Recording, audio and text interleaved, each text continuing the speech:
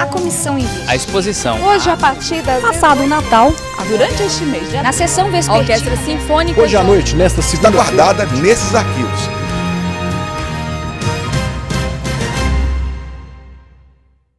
A Ampara, a Associação Mato Grossense de Pesquisa e Apoio à Adoção, entregou a premiação dos vencedores do sexto concurso de redação sobre o tema. O evento foi realizado com o apoio da Assembleia Legislativa de Mato Grosso por meio da Sala da Mulher. O concurso teve a participação de alunos de 25 escolas públicas e particulares de Cuiabá e premiou os melhores textos escritos por estudantes do sexto até o nono ano. Foi escolhida uma redação vencedora para cada ano escolar, sempre com o tema central da adoção. O aluno do Colégio Master Júnior, João Pedro, foi o vencedor do sétimo ano. Autor de um texto fictício e escrito em primeira pessoa para retratar o testemunho de uma criança adotada, João Pedro fala sobre o objetivo de criar o texto para falar sobre adoção. Eu, tentei criar uma história verídica mesmo, baseando alguns, algumas pesquisas. Eu pesquisei um pouco, busquei na internet histórias, mesmo assim, eu tentei criar uma história é, que parece assim verídica mesmo.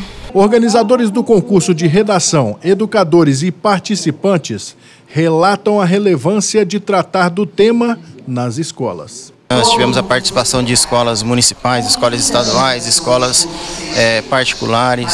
E para que, que serve esse evento? Esse evento é para as próprias crianças e os adolescentes que serão os, os, nossos governantes daqui a algum tempo, eles são eles que têm que, que participar desses eventos, desmistificando esses problemas que tem com a adoção, é, tirando os preconceitos, eles enquanto crianças que têm o coração puro. A questão da adoção hoje, infelizmente, ainda existe bastante preconceito. Então, quando a gente trabalha com a criança, a criança ela é multiplicadora, ela leva para casa dela, ela leva as sugestões, ela leva todo o conhecimento produzido em sala de aula e isso é muito positivo.